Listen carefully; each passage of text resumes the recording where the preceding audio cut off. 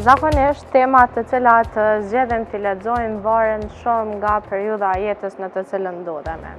Periudha, faza.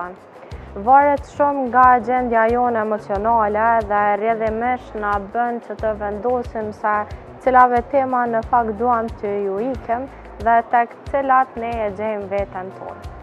Mirëpo, janë disa tema që shtjellohen brenda librave të cilat gjithmonë e gjejnë rrugën dhe janë disi frymëzuese dhe janë tema që ne do të donim t'i lexonim shumë herë kohë pas kohe. E sot ne do të tregojmë historinë e personazhes së quajtur Elizabeta përmes librit Leksione Kimie.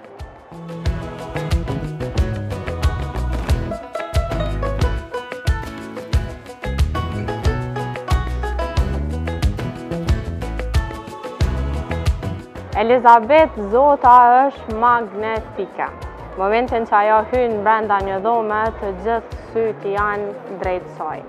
Kjo për faktin që ajo është shumë e bukur, mirëpo edhe nuk përton fare, që të flasë dhe të tregojë mendimet e saj, edhe në momentet kur të gjithë janë kundër saj.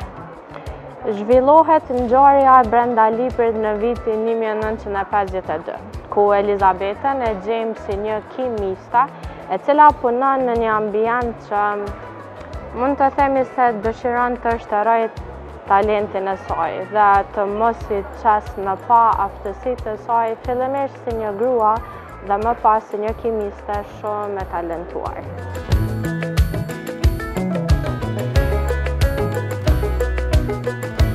Vështirësitë që do t'i dalin përpara Elizabetës nuk do ta mposhtin atë.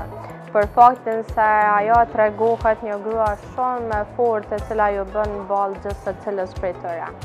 Sidoqoftë ngjarjet brenda librit do të zhvillohen dhe ndër të paktët njerëz që e vlerësojnë me të vërtetë potencialin e saj është Calvin Evansi, një kimist tjetër ku mes tyre shihet të fillojë një histori dashurie.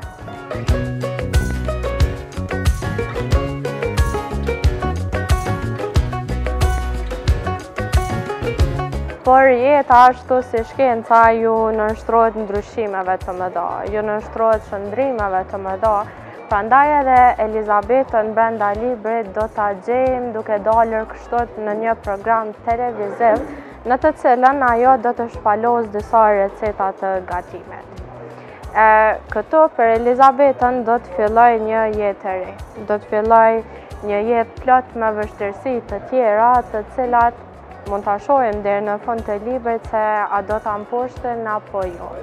E për të gjithë ju të cilëve ju interesojnë këto tema, për ju të cilëve ju frymëzojnë temat ku personazhet kryesore bëjnë çmos që ata të marrin ato që dëshirojnë, ky është një libër Shumë i duhur për ju, e me të cilën do të kënaqeni gjatë faqeve të tij.